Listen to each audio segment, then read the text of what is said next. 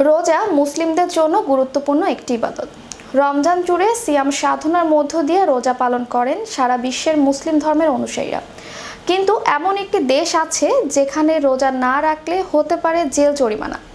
এমনকি এরই মধ্যে এই নিয়ম না মানার কারণে কয়েকজনকে গ্রেফতারও করা হয়েছে।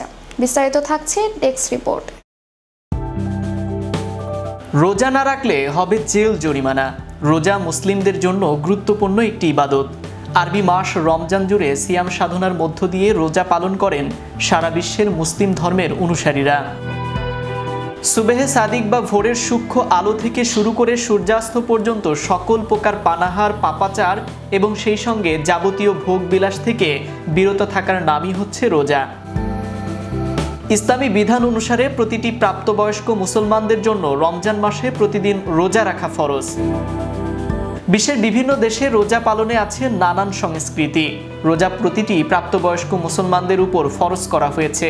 তবে অনেকেই আছেন সুস্থ সবল থেকেও ঠিকভাবে রোজা রাখেন না।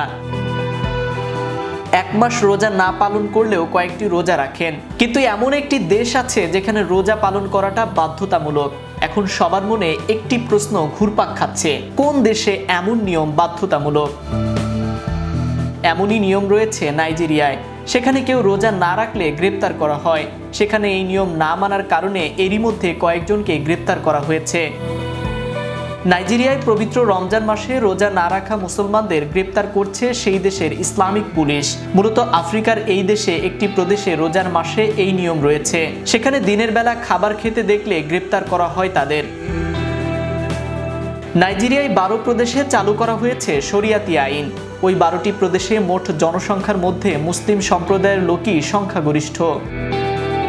মুসলিম সংখ্যাগরিষ্ঠ সেই সমস্ত প্রদেশগুলোর মধ্যে একটি হলো কানো। আর কানোই ইসলামিক পুলিশ হিজবা নামে পরিচিত।